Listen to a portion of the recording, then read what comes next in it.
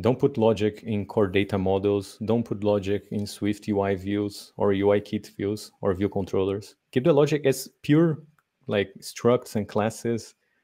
It doesn't inherit, doesn't import any framework. Just a foundation if necessary.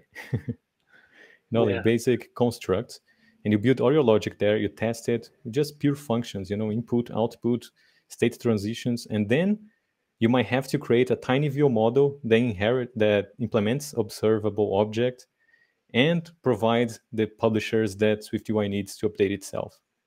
But all the logic here shouldn't even depend on combine core data or things like that, because then it's going to be much easier to maintain this application and evolve this application throughout the years with the framework changes. Because SwiftUI is evolving, evolving, just like UIKit you know, at some point there were no collection views in UIKit, and then there were collection views. But if all your logic was in a table view controller, it would be very hard to migrate to collection views.